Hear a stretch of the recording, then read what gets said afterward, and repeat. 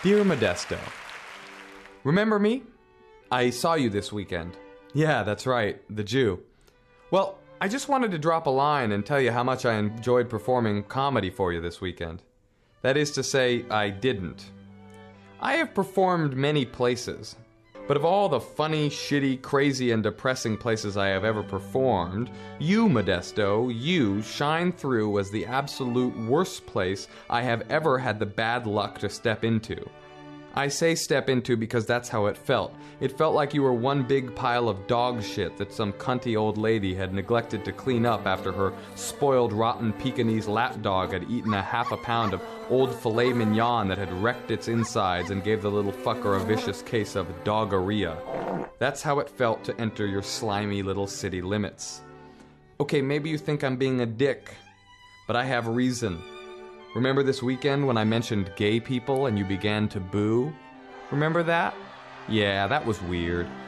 But then when someone else yelled, get rid of them, well, I think that's when I fell out of love with you.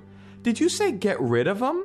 By um, do you mean homosexuals? By get rid of, did you mean wholesale slaughter? Yes? Delightful! That's the sign of an enlightened society screaming yokels calling for the destruction of another group. Thanks, Modesto, for showing me that the little bubble we call the Bay Area is immediately surrounded by human slime. You slimed me, like Ghostbusters. Now, why do you want to get rid of them? P.S. Modesto, only place I have ever mentioned being Jewish and received boos in response. That's right, boos. As in, so I'm Jewish and boo! Boo? You boo Jewish? What the fuck? First of all, fuck you. Second, though, it's a stand up comedy show. What are you surprised it's a Jew on stage? We comprise 88% of the stand up comics in the world. You take away black people, who I also assume you hate, and Jews, and you're left with like one stand up comic. And he's not funny. Take what you can get, Modesto. Boo, huh? When I hear things like that, I no longer in any way want to entertain you. I don't want anything to do with you. I don't want to waste my breath trying to make you laugh. You don't deserve laughter. You deserve AIDS. And not the good AIDS. You deserve to drink smoothies of vomit and infected pus boosts from Jamba Juice. You deserve to be eaten alive by La Chupacabra and then spit back up into Modesto flesh vomit goatsucker hairballs. You know those billboards on the side of the road that purport to having been written by God that are like, You know that whole love thy neighbor thing? I meant that.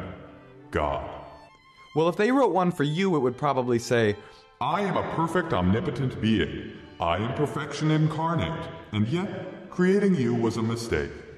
God. You know what I hope? I hope you all get married and have kids. I hope you raise those kids to be the same backwater, Miss Down syndrome by one half a chromosome, KKK West Coast chapter, wife beating, Jimmy crack corn, stained barbecue sauce t shirt, go nowhere, not worth the carbon it took to make your body, backcountry, single digit ah, IQ, shit for brain, bags of filth disgusting waste matter that you are, but through some freak accident of nature, they turn out different. At any rate, I won't be coming back to performing you anytime soon. In the meantime, fuck off. Yours truly, Moshe Kasher.